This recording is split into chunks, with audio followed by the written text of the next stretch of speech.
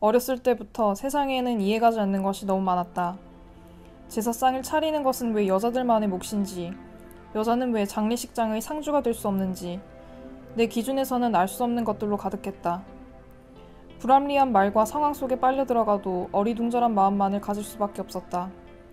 원래 세상은 그런 건가 보다 생각했다. 그렇게 하루하루를 곱씹어 현재에 도착했다. 더 이상 어렸을 때처럼 공부 못하면 삼촌 회사 와서 커피 타라 같은 말이 들리는 시대는 아니지만 주변은 여전히 불합리하다. 그런 물음의 가운데에서 페미니즘을 알게 됐다. 물음표 행렬의 꼬리를 따라가다 보니 깨달은 것도 느낀 바에 따라 행동한 것도 많아졌다. 물음표 투성이를 정리하다 보니 유튜브를 거쳐 책이라는 세계에까지 발을 내밀었다. 3년이라는 시간이 걸렸다. 나에게 페미니즘이란 한국 사회에서 살아남기 위한 언어였다. 도무지 이해되지 않는 것들이 나아가 좀처럼 누그러지지 않는 삶의 모난 부분들이 페미니즘 안에서는 일정 부분 해소되었다. 불편한 현상의 원인을 깨닫고 그것을 어떻게 하면 바꿀 수 있을 것인가 고민하며 지난 몇 년을 보냈다. 여기에 수록된 글은 그 과정을 압축한 하나의 결과물이다. 그동안 생각하고 실천한 것들을 나열하자면 끝이 없지만 그렇다고 해서 누군가를 가르치거나 훈계하려 하지 않았다. 그저 내가 겪은 느낌표를 담담하게 나열하고 싶었다. 이 책을 집어 올려 서문을 펼쳐보는 것조차 어떤 분에게는 용기가 필요한 일임을 알고 있기 때문이다.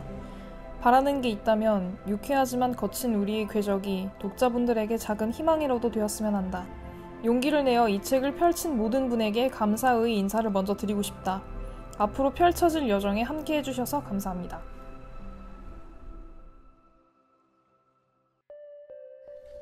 한편으로는 내가 가진 금전적 상황이 지금껏 나의 가능성을 얼마나 축소해왔는지에 대해서 깊은 고민을 해야 했다.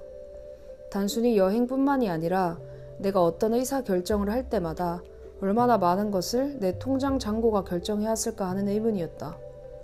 앞서 말한 적은 예산을 들이길 선호하는 나의 성향은 늘 어떤 상황 앞에 돈과 경험의 가치를 저울질하게 했다. 나름대로 합리적이라고 생각하며 내렸던 결정들도 결국은 그때그때 내 경제적 상황에 따라 결정되진 않았을지. 멀리 보지 못하고 당장의 눈앞에 일시적인 보상에 많은 것을 소비해버린 내 지나간 시간에게 미안한 마음이 든다. 그래서 어렵더라도 내 미래를 위해 조금씩 비상금을 만들어 두기 시작했다.